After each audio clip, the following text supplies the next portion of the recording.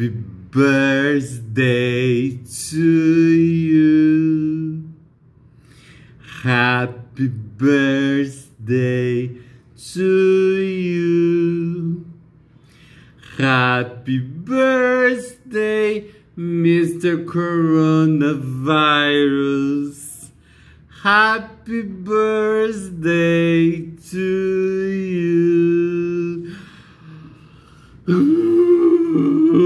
Ai, o Dória deve estar fazendo ainda roupinha pro coronavírus.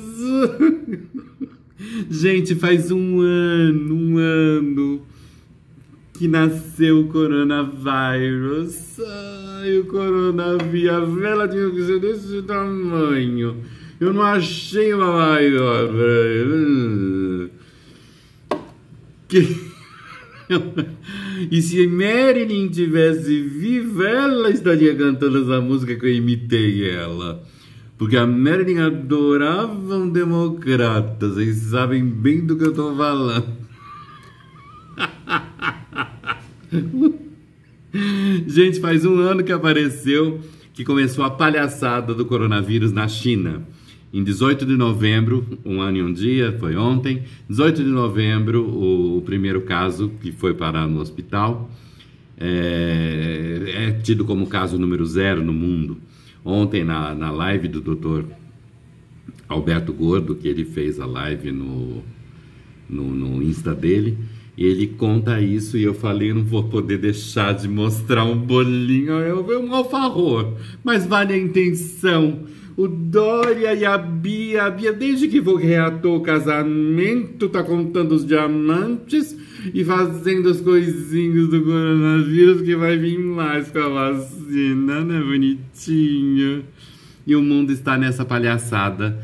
Mas a China só foi falar para o mundo que era uma. uma de fato uma, uma epidemia no dia 30 de dezembro. Até lá o vírus correu solto, mas não na China. De Wuhan ele partiu para o Ocidente. Ele não foi para Pequim nem para Xangai. Ele não gosta. Assim como na China não existe nada de segunda onda. Esta é a palhaçada do Ocidente, dos cabeças de vírus que querem nos enfiar esta vacina que a gente sabe muito bem qual que é o objetivo. A CNN deve estar fazendo um bolo enorme. Mandei até para o deputado Silveira, lá de Brasília, Daniel Silveira, o que está pedindo a anulação da, da, das eleições por causa dessa fraudemia, não só da fraudemia, fraude também da urna eleitoral. Eu mandei para ele até a velha pergunta para ver se Brasília começa a se perguntar um pouquinho quem financia a CNN no Brasil. Olha, se bobear, tem a impressão que é a gente, hein? Nós mesmos, o contribuinte, estamos financiando esse, esse veículo de comunicação que saiu dos Estados Unidos, onde está quase quebrada. A AT&T não tem mais para quem vendê-la. E aí, de repente, apareceu cheia de glórias, cheia de globais. Enfim, desempregados, mas não importa, ex-globais, e, e, e, e, fazendo a notícia, e que cometeu o deslize, cometeu o deslize de denunciar que o, tinha dois contratos secretos com a China. Dois. E o preço da vacina é razoável seja lá o que isso queira dizer, razoável. Vou tomar meu café hoje na, na xícara da Eide, que eu tava com saudade. Mas quem quiser minhas xícaras, ainda ainda tá para vender, tá aí embaixo o link, fiquem à vontade. Eide tava morrendo de saudade do teu, da tua xícara, mostrar tua xícara aqui. Um beijo para você, saudade de vocês. Deixa eu ver minha relação aqui, porque desde que o Gilmar Mendes falou da lisura da urna e da importância do TSE, eu quase saí correndo, não parei ainda. Você vê que é tudo tão global. A fraude do norte da América é a mesma da fraude do sul. A CNN da América é a mesma CNN do sul. Ou seja, tá tudo ligadinho, tudo combinandinho. Ai, pode sair em duplinha, vamos sair em duplinha. Ai, que nojo. E essa palhaçada da, da que estão fazendo agora com essa tal da segunda onda, que não tem segunda onda porcaria nenhuma, o vírus há de conviver com a gente, assim como tantas outras vírus e bactérias convivem todos os dias com a gente, tá? E trate de se acostumar com isso. Eu nunca entrei nessa palhaçada, então, para mim, mas vão fechar tudo de novo enquanto não conseguirem comprar a porcaria da vacina. E a neutrona da Suíça, quieta, límpida, translúcida, porque ela está guardando o dinheiro da corrupção do mundo inteiro. Então, para ela é cômodo falar assim: ai, sim, temos uma segunda onda de pandemia, porque a gente sabe que a Suíça não é um país, é um banco, não é mesmo? Então, os países da Europa Meridional estão todas na onda da, da, da, da vacina, enquanto os, do, os vikings, os do norte, os mais lá do alto, já falaram assim: para com essa palhaçada. Não vou ficar em casa e não vou tomar vacina. Dinamarca, Suécia, enfim. Os vikings que são os bem fortões, né? E eu acho que a gente tinha que ter um lado viking, porque eu já falei, enquanto não chegam os soldados de verdade, eu oro para São Jorge. Nossa, que eu tenho orado para São Jorge. Nessa fase vocês nem sequer imaginam. Enquanto Eustáquio, jornalista Eustáquio é preso, é um preso político.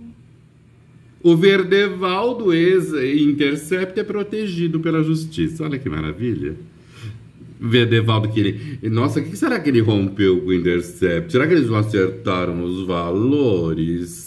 Ou será que ele vai fazer uma delação premiada ao modo petista? Porque com essa fraude voltou tudo ao normal. Substituíram o PT pelo PSOL, um barbudo pelo outro, Pronto. E vão ficar fazendo troca-troca mais 30 anos, que foi a previsão que o Gordinho fez. O, o Maia, cuja filha faz estágio na CNN. Ou seja, uma ligação direta com o legislativo. e bonitinho, poder fazer uma passarela, né? Ah, e foi só assim, então, ou seja, já está tudo combinadinho. Um dia depois do fatídico 15 de novembro, o pequeno já decretou que a quarentena fica até dezembro, a palhaçada de sempre. Ou seja, ninguém quer resolver nada, querem atrapalhar o governo central, querem derrubar o Bolsonaro de qualquer jeito e vão consegui-lo se nós não batermos o pé pelo voto impresso. Simplesmente, 2022 acaba Bolsonaro, tá? Que é exatamente o que eles querem. Aí volta o troca-troca.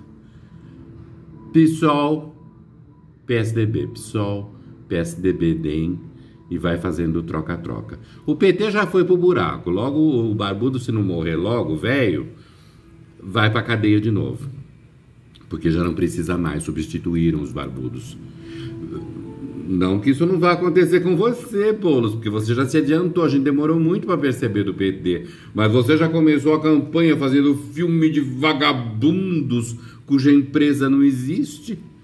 Ah, imagina, olha que se acaba antes, hein? Vai ver se vai ficar o, o barbudão com o barbudinho na mesma cela.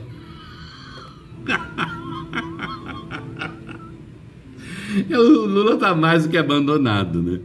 O, o, o Supremo o Superior Tribunal de Justiça já negou a apelação dele pro desculpa já negou a apelação dele por causa do triplex, ou seja, ninguém está nem aí pro Lula porque já substituíram o Barbudo. Já tem um outro Barbudo para chamar de ser, para chamarem de seu, porque a esquerda sem o Barbudo parece que não consegue funcionar. Então já foi abandonado, o Lula já está jogado às traças, deixa ele lá. A Fundação Clinton então, Nossa Senhora, a domínio do ando para a Fundação Clinton nos Estados Unidos, a fraude comendo solta pelo continente inteiro. E a Europa que não aceita a urna eletrônica, mas aceita a vacina chinesa. É muita palhaçada para uma vida só, não é mesmo? Ah, me mandaram até o Zenit, me mandaram aqui o primeiro. Uh, a marchinha que me mandaram, Zenit, pode ser uma ideia aí pra vocês. Quem me mandou foi o Abismo, olha o nome, Abismo, Abismo. Nossa eleição não é biônica, sai fora, urna eletrônica. Não acredito em Papai Noel, meu voto é no papel. Porque agora a gente entendeu, agora com a chegada do Bolsonaro, a gente entendeu que quando ela foi feita essa urna em 96, ela já foi feita com a intenção do roubo. Ela já foi feita com a intenção da fraude para fazer só PT, PSDB, PT, PSDB. Quando entrou a zebra do Bolsonaro, melou tudo. Aí eles fizeram, eles se atrapalharam todo, porque eles fizeram aquela todos ganharam igual e perderam igual nas mesmas sessões em São Paulo. Uma linha, linha linear assim, ó. É impossível acontecer isso. Matematicamente isso é impossível. Mas o desespero do TSE foi, era tamanho. O desespero do TSE era tamanho que ele falou: vai desse jeito mesmo, que o que importa é fraudar. Entendeu? E vamos ver no que vai dar tudo isso. Eu voto, meu voto é de papel. Eu só vou falar isso para vocês. Auditável, por enquanto, se quer pegar o o, o que a Bia Kisses aprovou lá, de tirar a impressão, olhar, eu votei nele, jogar na urna. Uma gracinha, mas eu acho que a gente sempre será refém de um ataque cibernético, sempre. Sempre. Então, já que é para ficar recontando o voto de impresso, dado que a impressora fez, é melhor contar voto do que no papel que a pessoa botou o X lá. Leva a caneta, viu? Você Ai, você higieniza tudo, porque enquanto tiver Bolsonaro no poder, esta pandemia não acaba.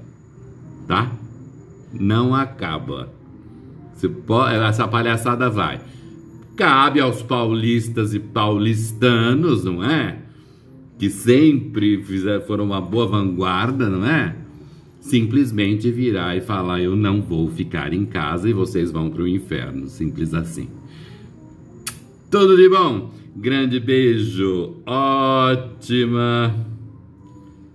Que mais esqueci de falar alguma coisa? Não, beijos, beijos, Luiz Jurek. Eu tô bloqueado por sete dias, fui bloqueado por sete dias. Logo volto no, no Facebook e não consigo responder para vocês. Luiz Jurek, um grande beijo para você. Para Brena Carla Jurek Gloiber e seu marido, Rabino Avraham Neitan Gloiber e o filho dela o sobrinho do Felipe, que também que, tá, que, que chama Felipe, aliás, do, o sobrinho do Luiz Jurek. O menino chama Felipe Jurek e moram em Israel. Se essa palhaçada não tivesse em curso, eu tô louco para ir para Israel. Um grande beijo para vocês, tudo de bom. Obrigado pela mensagem, Luiz, e até a próxima. Au revoir. Fui. Parabéns para você nessa data querida.